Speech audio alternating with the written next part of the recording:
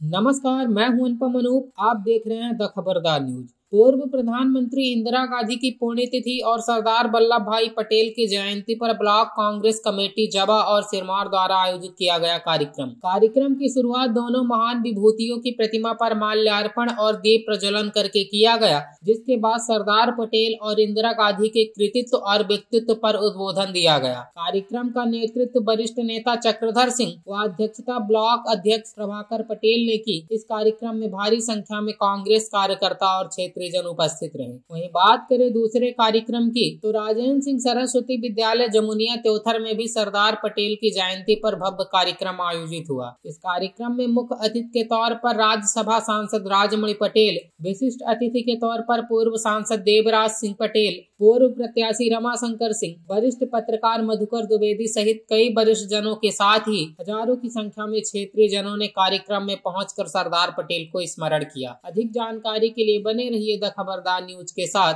नमस्कार, धन्यवाद। हमारे देश की प्रथम महिला प्रधानमंत्री रही।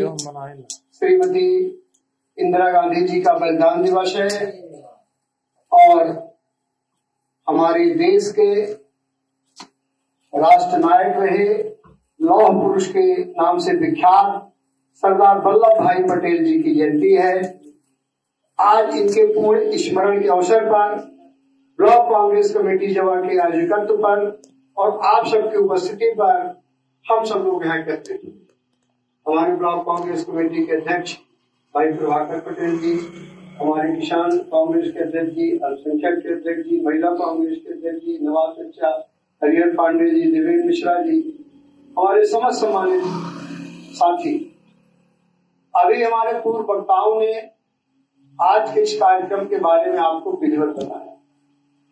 हमारे पांडे जी जो कवि हृदय हैं जमकहाई के निवासी हैं, हम सबके सम्मानित हैं और इस उम्र में भी उनका उत्साह, उनकी समरसता।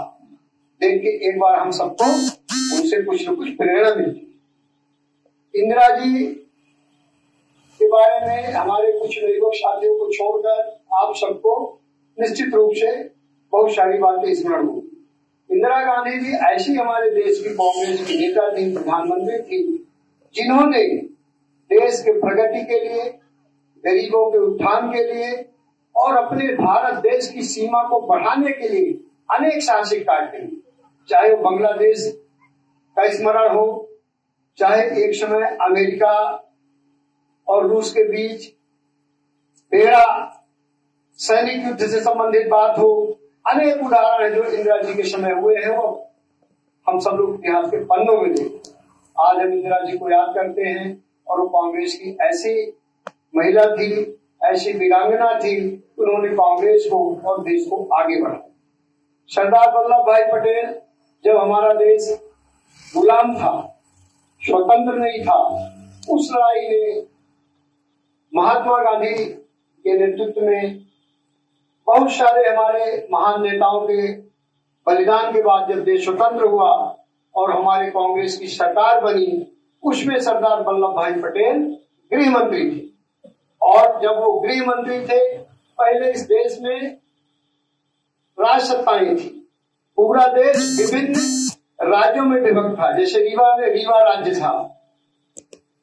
लखनऊ में नवाब साहब थे, वहाँ के राजा थे।